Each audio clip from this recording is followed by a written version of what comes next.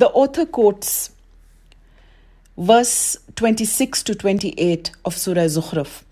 It says, وإذ قال إبراهيم لأبيه وقومه إنني براء مما تعبدون إلا الذي فطرني فإنه سيهدين وجعلها كلمة باقية في عقبه لعلهم يرجعون And remember when Ibrahim said to his father and his people, I am totally free from everything that you worship except for the one who created me. He will guide me upon the true religion and the way of right guidance. And Allah made this saying that none has the right to be worshipped except Allah to persist amongst Ibrahim's progeny, so that they might remember and return to obedience to their Lord and to worshipping Him alone and repent from their unbelief and their sins. Now, this means that Ibrahim salam, the one who was chosen, beloved of Allah, the imam of those upon the straight and true religion and free from shirk, and the most excellent of the messengers after Muhammad. His father was Azar. He says, I'm totally free, and the word used for free is bara. Bara means totally free of that. Also, he's saying that I'm totally free from everything that you worship. This is synonymous with the saying La ilaha illallah, none has the right to be worshipped. Then he says that he created me upon the upright nature. Now Allah is saying, except for the one who created me, is synonymous with the saying illallah except Allah. So He, the one free of all imperfections and the Most High, is to be given no shares in His worship, just as none has any share in His sovereignty. The proof for this is the saying of Allah, the Most High, Surah Al Araf, chapter 7, verse 54. ألا له الخلق والأمر تبارك الله رب العالمين Certainly, creation and the commands are His. Exalted is Allah, the Lord of all creation. This ayah restricts creation and the command to Allah, the Lord of all the creations alone. So all the creation is His, and the creational and legislative command is His. Then it says, he will the verse says that he will guide me upon the true religion and the way of right guidance this means that he will guide and direct me to the truth and grant that i attain it then the verse says that none has the right to be worshipped except Allah, to persist amongst Ibrahim's progeny so that they might remember and return. This means that it, the saying is a declaration of being totally free of and disassociated from everything that is worshipped besides Allah, and returning here means return to it from shirk. Then the author quotes verse 64 of Surah Ali Imran. قل يا أهل الكتاب تعالوا إلى كلمة سواء بيننا وبينكم ألا نعبد إلا الله ألا نعبد إلا الله ولا نشرك به شيئا ولا يتخذ بعضنا بعضا أربابا من دون الله فإن تولوا فقولوا اشهدوا بأننا مسلمون It says, O people of the book, come to a word of justice between us that we will single Allah out with all worship and will not worship anything besides Him, and will disassociate ourselves from everything that is worshipped besides Him, nor will we take another as lords besides Allah by obeying one another in that which involves disobedience to Allah. So if they turn away, then say, Bear witness that we are Muslims submitting to Allah and making our worship purely and sincerely for Him and not worshipping anything besides Him. Now, the address being to Prophet for him to debate with the people of the book, that is, the Jews and the Christians. Now it says the word is that we will not worship except Allah and we will not associate anything in worship along with Him and we will not take one another as lords besides Allah. Now we will not worship anything besides Allah is the meaning of La ilaha illallah. And uh, the meaning of justice between us is that you and us should be the same in that. That is, that some of us will not take others as lords besides Allah, the mighty and majestic, and will not revere one another as we revere Allah, the mighty and majestic, nor worship one another as we worship Allah, not making judgment and jurisdiction for other than him. Meaning that if they turn away from what you call them to, then state to them and call them to witness that you are Muslims, submitting to Allah and are free from that which they are upon with regard to their obstinate refusal and rejection of this great word La ilaha illallah, which is none has the right to be worshipped except Allah. The author says in the commentary, the proof for the testification that Muhammad is the messenger of Allah is the saying of Allah the Most High, Surah At-Tawbah, chapter 9, verse 128. لقد جاءكم رسول من أنفسكم عزيز عليه ما عنتم حريص عليكم بالمؤمنين رؤوف رحيم there has indeed come to you Allah's Messenger from amongst yourselves, and known to you it grieves him that you should suffer. He is eager and anxious for the guidance of those of you who are astray, and that they should repent and return to the truth, and he is full of compassion and mercy for the believers. Now, this means that this messenger is from your race and indeed from amongst your you yourselves just as allah the most high says uh, in surah jummah chapter 62 verse 2 هو الذي بعث في الأميين رسولا منهم يتلو عليهم آياته ويزكيهم ويزكيهم ويعلمهم الكتاب والحكمة وإن كانوا من قبل لفي ضلال مبين It is Allah who sent amongst the unlettered Arabs a messenger from themselves Muhammad wasallam, who recited to them the ayat which Allah sent down and purified them from the pollution of unbelief and taught them the book of Allah and the Sunnah and before Allah sent him to them as a messenger they were clearly astray. The verse in the text further says, It grieves him that you suffer. Now, this means that whatever grieves you grieves him. Then the, the verse in the text says that he is eager and anxious for the guidance of those of you who are astray. This means that he is anxious that you should attain that which is beneficial to you and that harm should be repelled from you. And then it says in the verse which is in the text that they should repent and return to the truth, and He is full of compassion and mercy for the believers.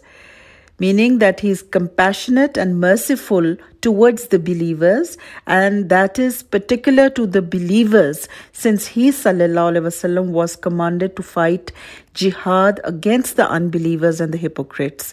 So these attributes of Allah's messenger wasallam prove that he was truly the messenger of Allah as it is clearly shown from the saying of Allah the Most High, Surah Al Araf, chapter 7, verse 158. قل يا أيها الناس إني رسول الله إليكم جميعا Say, O Muhammad sallallahu alaihi wasallam, to all the people, I am Allah's messenger to you all. Now, the ayah in this regard, proving that Muhammad is truly the messenger of Allah, are many. The meaning of the testification that Muhammad wasallam is the messenger of Allah is to affirm with the tongue and to truly believe with the heart that Muhammad ibn Abdullah al Qurayshi al Hashimi is the messenger of Allah, the mighty and majestic to all of the creation, to the jinn and mankind, as Allah the Most High says, Surah Ad-Dariyat, chapter 51, verse 56. وما خلقت الجن والإنس إلا ليعبدون I did not create the jinn and the mankind except that they worship me. There cannot be any worship for Allah the Most High except by way of the revelation which Muhammad wasallam came with as Allah the Most High says Surah Al-Furqan chapter 25 verse 1 تبارك الذي نزل الفرقان على عبده ليكون للعالمين نذيرا Exalted is he who sent down the criterion this means the Quran, between truth and falsehood in stages to his slave Muhammad, so that he should be a warner to men and jinn, that they will be punished by Allah if they do not single him out with all worship and keep away from the worship of everything besides him. This testification necessitates that a person believes whatever Allah's Messenger وسلم, informed of that he obeys him in whatever he orders and keeps away from whatever he forbade and prohibited, and that he does not worship Allah except with that which he prescribed. This testification also necessitates that he does not believe that Allah's Messenger وسلم, has any share of or any right to lordship or control over the creation, nor any right to be worshipped at all. Rather, he wasallam is a slave and worshipper, not one to be worshipped, and he is a messenger who is not to be belied. He does not possess either for himself or for anyone else the power to bring harm or benefit except as Allah wills. Allah the Most High says, Surah Al An'am, chapter 6, verse 15. قل لا أقول لكم عندي خزائن الله ولا أعلم الغيب ولا أقول لكم إني ملك إن أتبع إلا ما يوحى إلي Say, O Muhammad sallallahu alaihi wasallam, to those who deny your prophethood, I do not say that I am the Lord who possesses the treasure house the treasure houses of the heavens and the earth, so that I should know the secrets of that which is hidden and known only to Allah. Nor do I say to you that I am an angel, rather, in what I say to you and call you to, I follow only the revelation which Allah sends to me. He is a slave who acts as he is commanded and follows the orders he is given.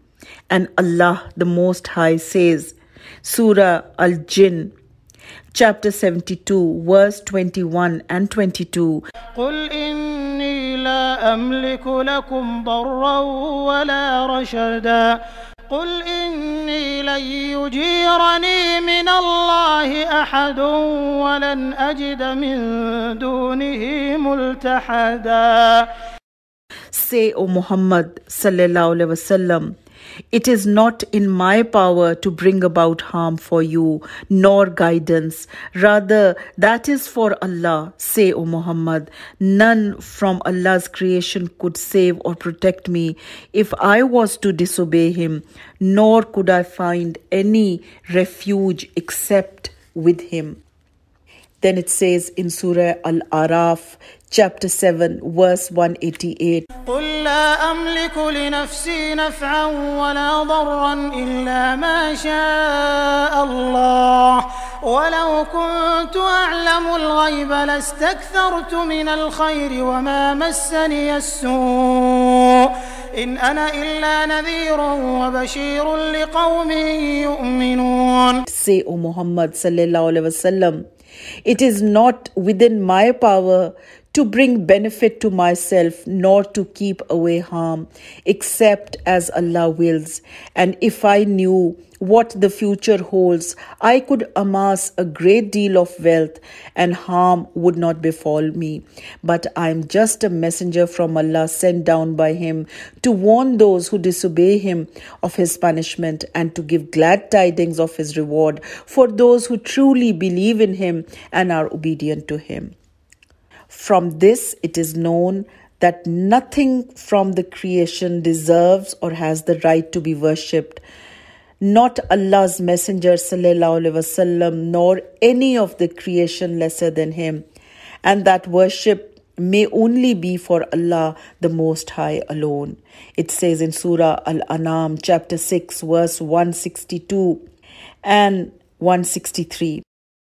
قل إن صلاتي ونسكي ومحياي ومماتي لله رب العالمين لا شريك له وبذلك أمرت وأنا أول المسلمين Say, O Muhammad sallallahu alaihi wasallam, indeed my prayer, my sacrifice, my living and my dying are all purely and solely for Allah, Lord of all creation. There is no share of any of that for other than Him. That is why my Lord ordered me, and I am the first of this nation to submit to Allah as a Muslim. The right of the Prophet ﷺ is that you give him the position and standing which Allah the Most High gave him, which is that he is the slave of Allah and his messenger. May Allah extol and send blessings of peace upon him. The evidence that the prayer and the zakat are from the religion is the saying of Allah the Most High, Surah Al Bayyinah, chapter 98, verse 5. وما أمروا إلا ليعبدوا الله مخلصين له الدين حنفاء ويقيموا الصلاة ويؤتوا الزكاة and they were not commanded except that they should worship Allah alone, making their worship and obedience purely for Him upon the true religion and free from shirk, and that they should establish the prayer and pay the zakat. This ayah is general and covers all type of worship. So, a person must perform all of them purely and sincerely for Allah the Mighty and Majestic, being upon the straight and true religion and following the revealed way prescribed by Him. This is an example of something particular being mentioned after the general. So, establishment of the prayer and payment of the zakat are types of worship However, Allah the One, free of all imperfections, mentioned them specifically due to their great importance. So, the prayer is a bodily worship, and the zakat is a worship involving giving wealth, and they are mentioned jointly in the book of Allah, the Mighty and Majestic. The worship of Allah, making the religion purely for Him, keeping aloof from shirk and establishment of the prayer and payment of the zakat. The true and straight religion means containing no crookedness since it is the religion laid down by Allah, the Mighty and Majestic, and Allah's religion is straight and upright, just as Allah the Most High says, Surah Al An'am, chapter 6, verse 153. وأن هذا صراطي مستقيما فاتبعوه ولا تتبعوا السبل فتفرق بكم عن سبيله This is my straight path, so follow it and do not follow any of the other paths, for they will split you and take you away from that which He prescribed for you. Just as the noble ayah mentioned by the author contains a mention of worship and the prayer and the zakat, then it comprises the reality of Tawheed, and that is to make worship purely for Allah the Mighty and Majestic without any inclination to shirk. So, whoever does not make his worship purely for Allah is not a muwahhid, a person upon Tawheed. And whoever makes his worship for other than Allah is not a person upon Tawheed. The author then says that the evidence of fasting, that is Siyam, is the saying of Allah the Most High, Surah Al Baqarah, chapter 2, verse 183.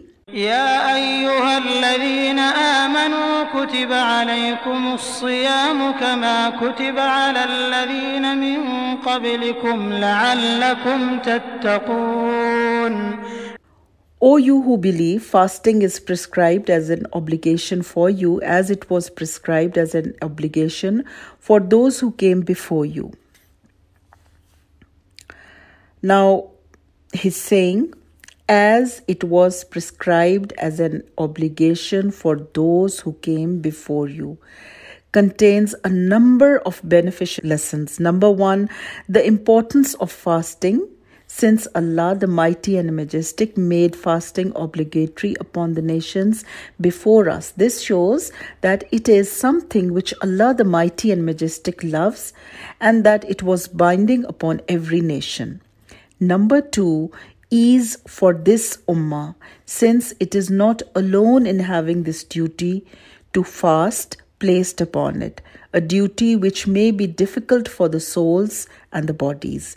And number three, an indication that Allah the Most High perfected the religion for this ummah and completed it with the virtues which were given to the earlier nations. In this ayah, Allah the Mighty and Majestic makes clear the wisdom behind fasting. He says, La'allakum tattakun, that you should fear Allah through fasting and attain the characteristics of taqwa resulting from it. This benefit was indicated by the Prophet ﷺ in his saying, Whoever does not abandon falsehood and evil actions, then Allah has no need that he should abandon his food and drink. Reported by Bukhari, Hadith number 127. Then the evidence for Hajj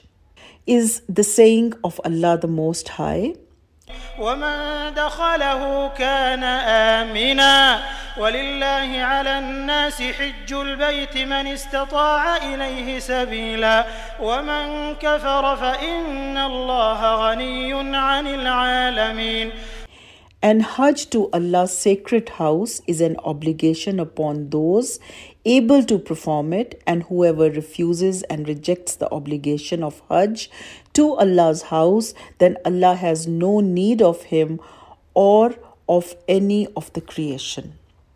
This ayah was sent down in the ninth year after the Hijrah when the Hajj became an obligation. However, Allah the Mighty and Majestic says, those able to perform it. So it shows that Hajj is not an obligation upon one unable to perform it. In the saying of Allah, the Most High, then Allah has no need of Him or of any of the creation.